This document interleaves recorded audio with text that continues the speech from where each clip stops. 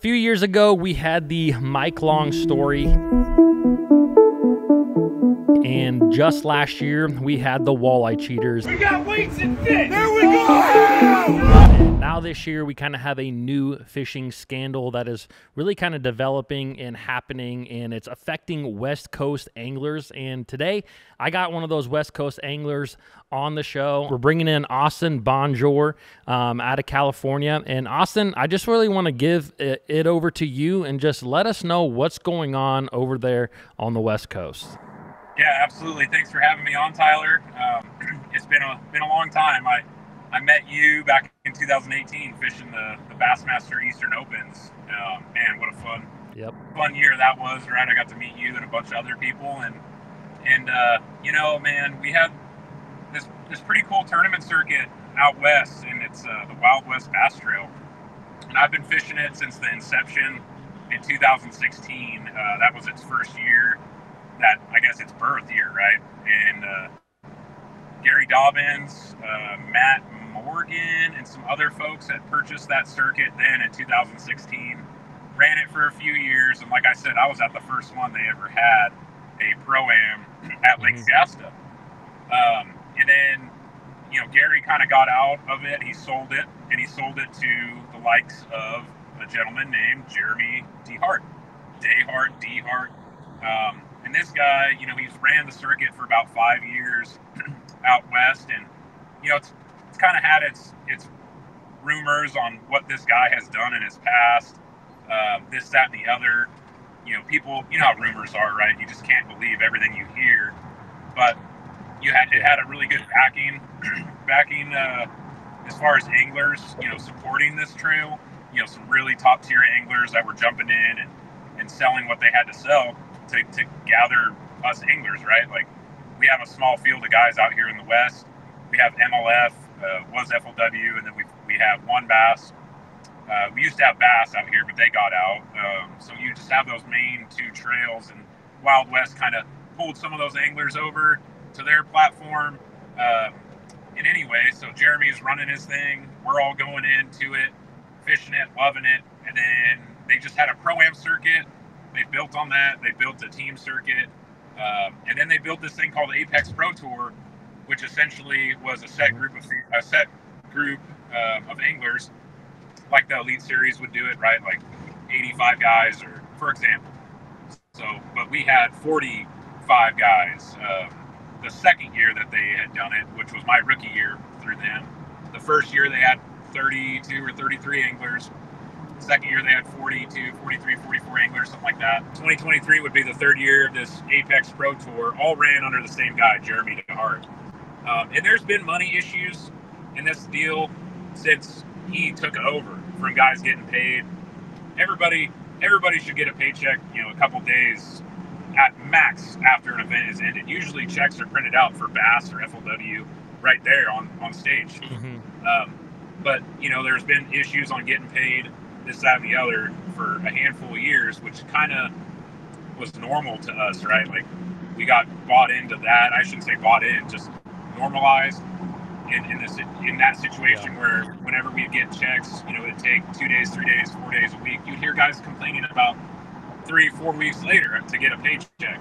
Uh, some of the champions from past events and years past. Uh, and then this year, you know, we had our first Apex Pro Tour event, um, and that was in May, and we had 40 something guys, like don't quote me on that, 40 whatever, our fixed field of guys that were there, and only four of the 22 guys got paid. Two of the guys that got paid were out of Jeremy's own checking account through Venmo, uh, and I know this from the research I've done and talking to the anglers, and the other two anglers just must have got to the bank quick enough to get their checks um, cashed, and then the other 18 Dang. checks, yeah, didn't have, didn't come through. They were either no checks mailed, or you know, a half a dozen at least fraudulent checks or rubber checks, bounce checks, whatever you want to call them. And then what really pisses me off is they had two other tournaments right after that. They had um, the Pro-Ams, which is the same entity. It's the same organization. Wild West has the Apex Series and then the Pro-Am Series. You know, the next week they had the Pro-Am tournament, and, and they knew all this. They knew all this going into those tournaments that they had money issues. Um, and they were blaming it on a bunch of nonsense. But they go into that pro am at the Delta. None of those guys, boaters and co anglers, about 34, you know, 17 on each side, 17 codes and 17 pros with no checks. And then to make it worse, they had a teams tournament under Wild West Bass, you know, the next week. And I can't believe anybody even showed up because word was spreading like wildfire. And uh, no one's been paid from that as well. From, I mean, I take that back. I know a couple guys have messaged me on Facebook saying that they've got their baseline $300 team event checks, right? Like, uh, I've seen about two posts on some of the, some of the things I put on Facebook of these guys getting some $300 checks. But that, that's really the story, man. It's it's been kind of there's been money issues for the last five years, and then coming into 2023, they just burn it to the ground. By they, I mean the owner, Jeremy Dart.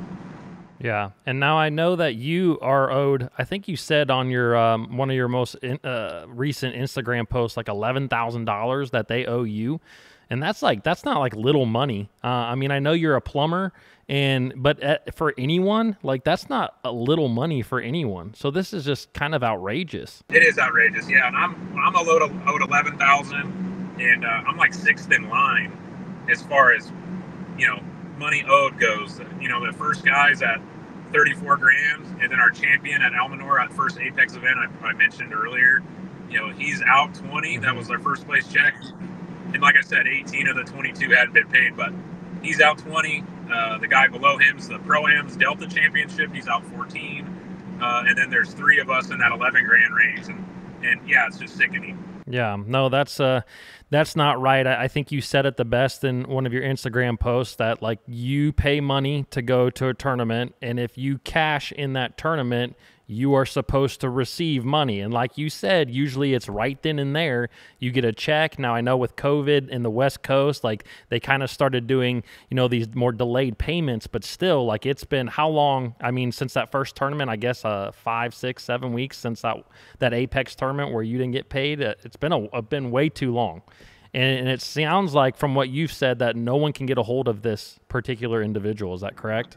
Yeah, no one's getting a hold of him. He's kind of ghost. You know, he was keeping lines of communication open to me personally. Uh, up up until the last text message I got from him was uh, uh, I just looked at it this morning was June 26th, and our event was May 10th through the 12th.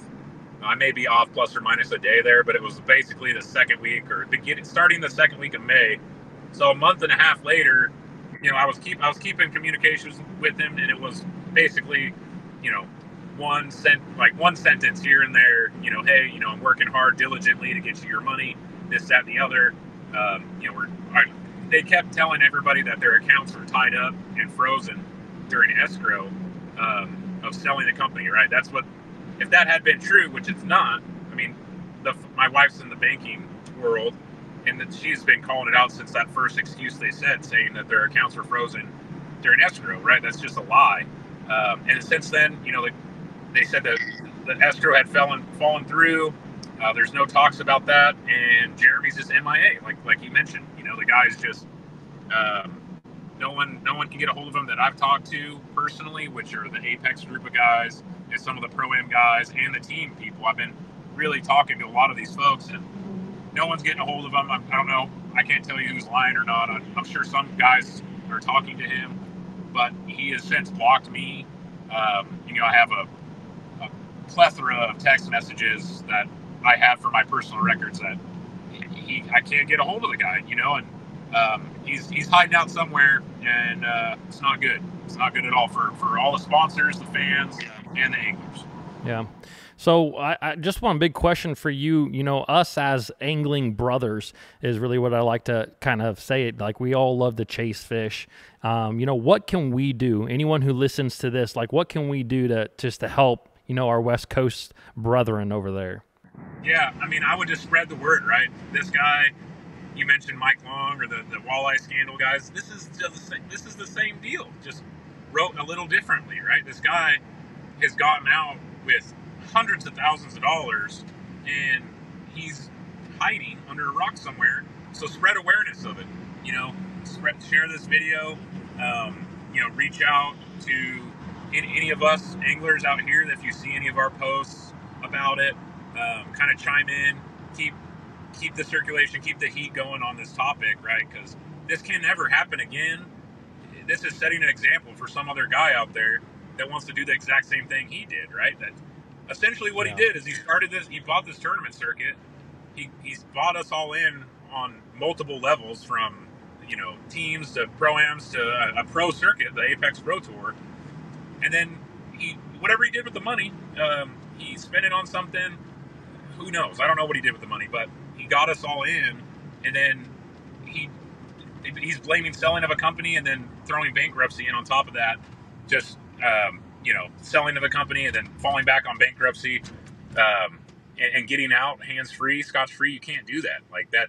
That can't happen. So the biggest thing is just to spread spread awareness about this. Know this guy, know who he is, right? Um, and it's got to stop. We we Mhm. all as anglers got to stand up for each other and never let this happen in an organization again, right? So that's that's kind of what I would say is pay attention to all the posts that are happening out here, all the anglers. There's some big name guys out here that are.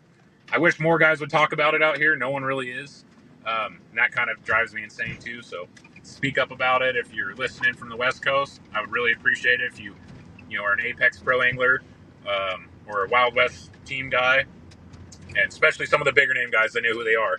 They need to use their platforms to to talk about this and bring it bring it up and really keep the heat on the topic. I guess. Yeah. No, I definitely agree. So if you're listening to this, make sure to do just that. Uh, you know, keep the heat on the topic, and we can try to try to get these West Coast anglers paid. I mean, at the end of the day, if they could just get paid, I think that that would uh, definitely be great. Um, but thanks, man. I really appreciate having you on. Yeah. Thank you, Tyler.